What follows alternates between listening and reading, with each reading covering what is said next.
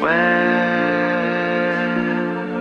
does it come? Live, you know, Lil Juke made it.